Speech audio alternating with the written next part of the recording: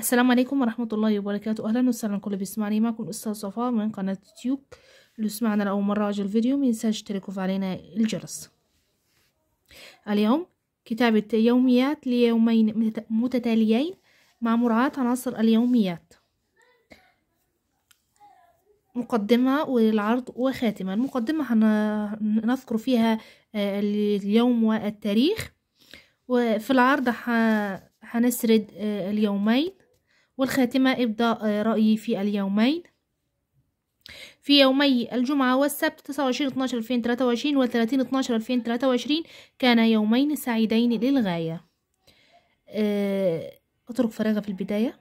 استيقظ استيقظت في الصباح الباكر وتناولت الإفطار مع عائلتي ثم خرجت من المنزل لممارسة رياضة الجري.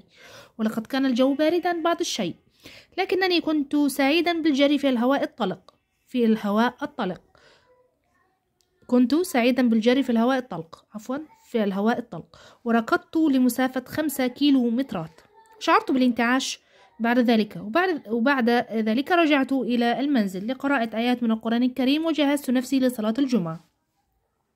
وعصرا ذهبت إلى المكتبة العامة لقراءة كتاب فوجدت كتابا مثيرا للاهتمام عن تاريخ مصر أو تاريخ مصر آه، عفوا تاريخ سوريا.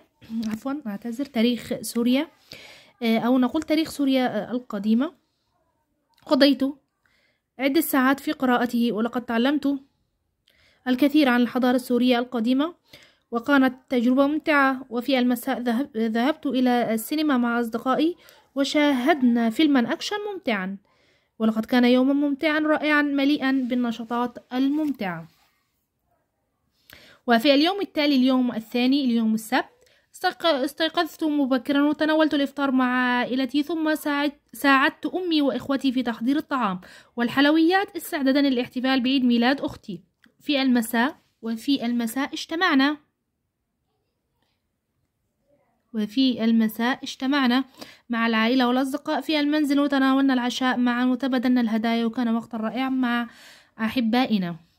آه، خاتمة هنا آه، ابدأ آه، رأيي في الأحداث. شعرت بالسعادة والرضا في نهاية اليوم كما شعرت بالامتنان لوجود عائلتي وأصدقائي في حياتي.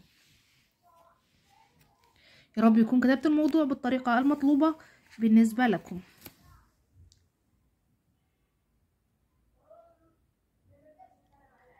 طلب مني هذا الموضوع من أحد متابعي القناة يريد آه، كتابة يوميات ليومين متتاليين.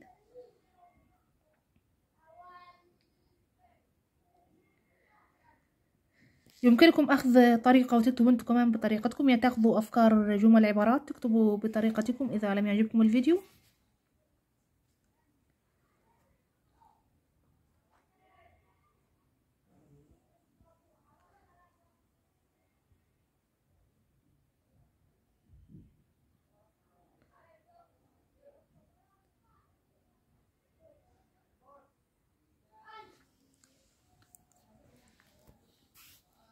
إذا أردتم مذكرات كتابة مذكرات آه، يومية موجودة في القناة كتابة مذكرات.